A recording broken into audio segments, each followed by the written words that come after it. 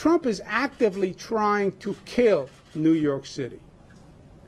It is personal. I think it's psychological.